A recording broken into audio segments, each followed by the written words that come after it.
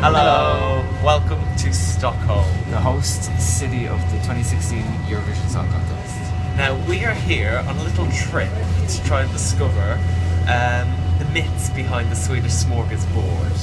If you cast your mind back to 2013 in Malmö, Petra Mede, who hosted the show, did the second best Only topped by Ireland's Riverdance, of course.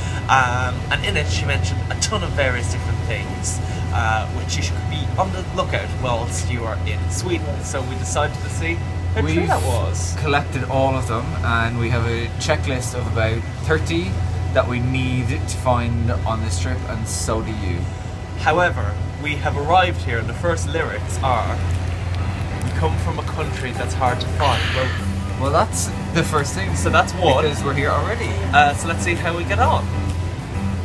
Our people are cold, but our elks are hot. A Swedish chef, recycling is in our hearts.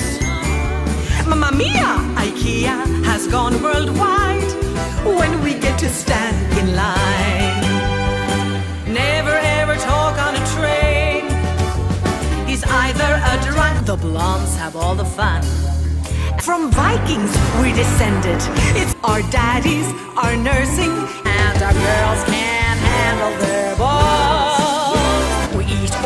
meatballs the Nordic way, seasoned with a hint of horse.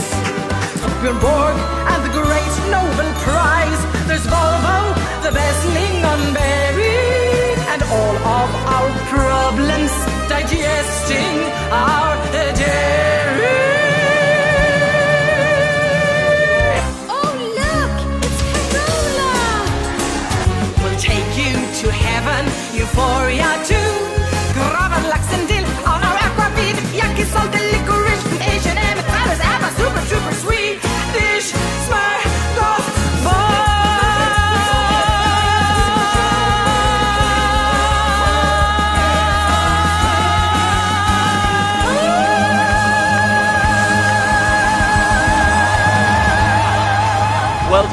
We've managed to get 27.